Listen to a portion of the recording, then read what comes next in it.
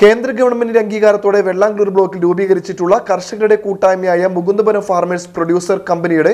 ഓണച്ചന്ത പുത്തഞ്ചിറ മാണിയങ്കാവിൽ ആരംഭിച്ചു കർഷക അവാർഡ് ജേതാവ് ഹമീദ് താനത്തുപറമ്പിൽ ഉദ്ഘാടനം ചെയ്തു മാണിയങ്കാവ് ക്ഷേത്രത്തിലെ രാഘവൻ വെളിച്ചപ്പാട്